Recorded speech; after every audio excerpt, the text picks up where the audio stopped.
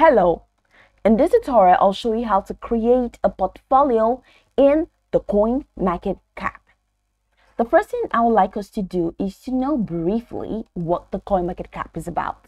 Now, CoinMarketCap is the world's most referenced price tracking website for crypto assets in the rapidly growing cryptocurrency space. Its mission is pretty simple, which is to make crypto discoverable and efficient globally by empowering retail users with unbiased, high quality, and accurate information for drawing their own informed conclusions. So now that we know what the CoinMarketCap is about, let's hop into how to create an account on CoinMarketCap. Launch in the browser of your choice and locate the search bar. In the search bar of your browser, go ahead and type CoinMarketCap com and that's going to take you to the official website once again to the website check the top right corner of your screen you're going to find the sign up button click on that to create new account and you can also click on the login button to log in using an existing account. Now once you sign in successfully it's going to take you to this fantastic homepage where you can now explore a lot of features to have an exciting time in the CoinMarketCap so now we're here let's hop into today's stats which is how to create a portfolio in the coin market cap so from this homepage, head over to the top right corner of your screen where you're going to find a couple icons. So go ahead and click on your profile icon, which is at the extreme right. And then you're going to see this extended menu that says watch list, portfolio, my community page, settings, and logout. Now go ahead and click on portfolio, and that's going to take you to the portfolio window. Oh God, I'm making losses. Okay, so How do you create a new portfolio? I have created one and I named it My Holdings. So go ahead and click on this Create Portfolio option and now you have a couple more options.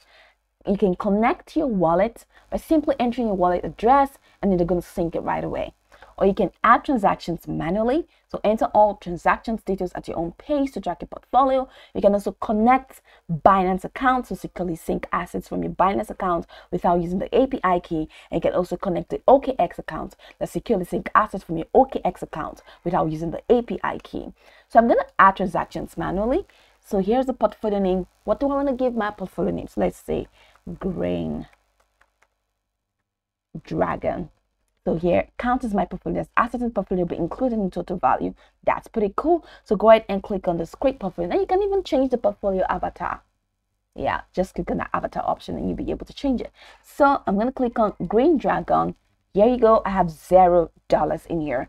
So I can now add a transaction. Okay. So click on this add transaction and let's say I want to add Ethereum. And what's the price that I want to add to this Ethereum? Let's say 30 and this is the price Bitcoin.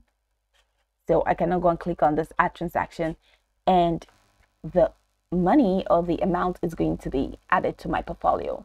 So here i have money awesome. But this is not real money of course you know.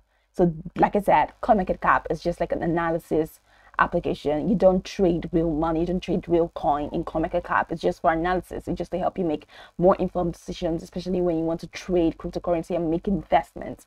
So here I can now check the history, I can check the price, as at one, past one hour, past 24 hours, past seven days, holdings, my average buy price, profit and loss. All of these things are just to help me stay abreast what is happening within this coin. So that's pretty much how you can create a portfolio in the CoinMarketCap web application. Now you can go over this tutorial from top to bottom to get acquainted with the step. Of course, once you're done, you'll be good to go. I hope this tutorial marvelously helped you search.